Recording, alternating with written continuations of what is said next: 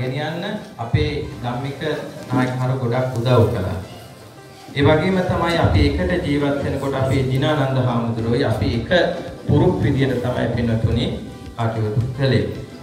ඉතින් හාමුදුරුවෝ පොඩ්ඩක් කිව්වා අපේ විහාරස්ථානය කම්පානියා පළාත මම හිතනවා මෙතන ඉන්න රේෂියා නගරේ ඉන්න ගොඩ ඇත්තෝ මුල් අවස්ථාවේ නාපෝලි නගරේ ජීවත් වුණු පින්නතුන්ලා.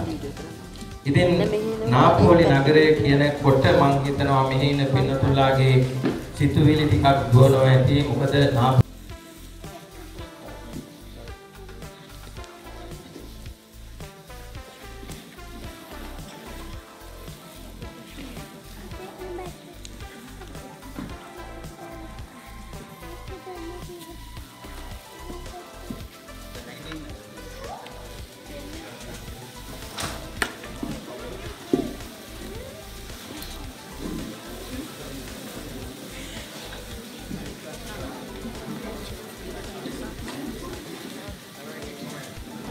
चरित्र में मुझे नाम साफ सुधार